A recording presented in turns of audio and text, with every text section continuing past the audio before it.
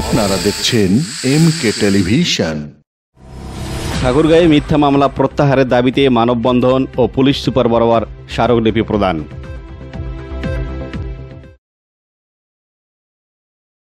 আসসালামু আলাইকুম। এমকে টেলিভিশনের পক্ষ থেকে সবাইকে আন্তরিক শুভেচ্ছা জানাচ্ছি। দেখছি আমি শিউলি। শুরুতেই শুনলেন সংবাদ শিরোনাম। এখন বিস্তারিত।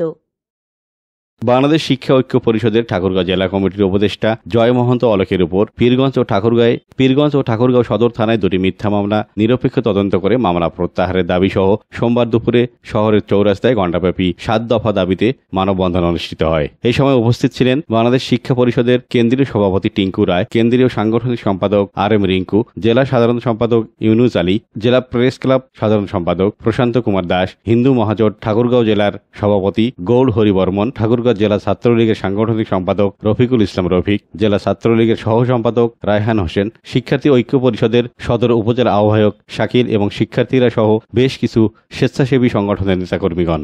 অবিলম্বে এ মামলা প্রত্যাহার না হলে কঠোর আন্দোলনের হুঁশিয়ারি দেন তারা। মানববন্ধন শেষে ঠাকুরগাঁও পুলিশ সুপার বরাবর একটি স্মারকলিপি প্রদান করেন পুলিশ সুপার মনিরুজ্জামান, শিক্ষার্থীদের সুষ্ঠু তদন্তের আশ্বাস দেন। M K Islam Babu, national desk, M K television.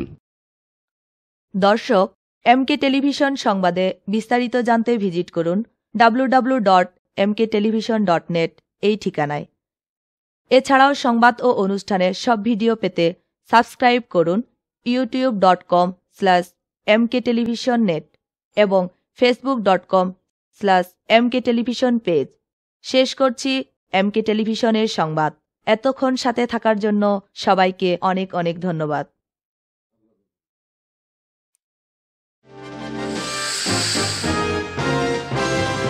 M K television